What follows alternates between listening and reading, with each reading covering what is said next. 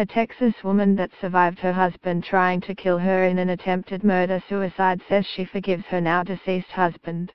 Rachel Butler, 26 and Jason Butler, 39, were on the verge of divorce when they went out Saturday night to his high 20-year school reunion. After getting into an argument on the way home Jason pulled his gun out of his truck and shot her in the chest in their Montgomery area driveway. He then shot himself in the head. Rachel was discharged from the intensive care unit at Conroe Regional Medical Center Monday, and said despite the issues they had, she wanted him to be remembered for the husband and father he was and not for trying to kill her.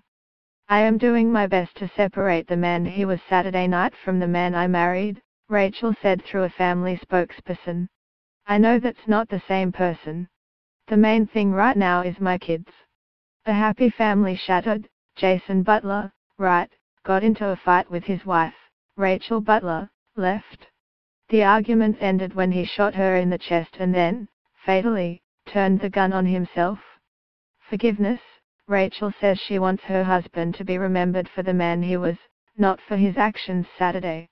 The couple was in counseling, according to the Houston crew. Their young children, aged 2 and 6, were not home at the time of the shooting. Rachel had filed for divorce on October 10 citing a conflict of personalities, court records show. The couple married in May 2014 and were no longer living together as of September. The couple's counseling was supposed to help guide them with how to best move forward for the children. The couple bought their home in the Ridgelake Shores area of Fish Creek in the spring of 2016. The mother of two told the courier it was a miracle she survived.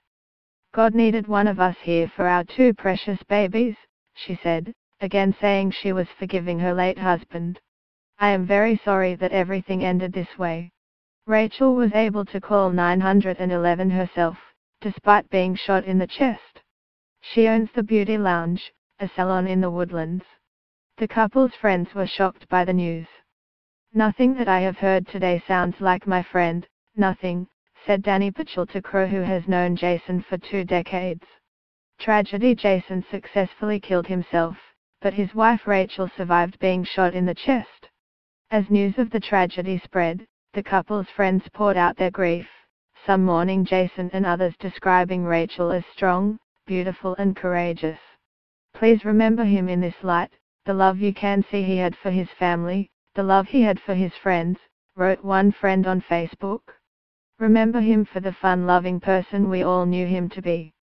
Things happen, one thing should not take away from who he truly was. We are in shock but leaning on God for peace and understanding, Courtney Lee Stiles wrote on Facebook. Please keep her and her family in your prayers. The Montgomery County Sheriff's Office is investigating the shooting. If you or someone you know is suicidal call the National Suicide Prevention Lifeline, 1-800-273-8255.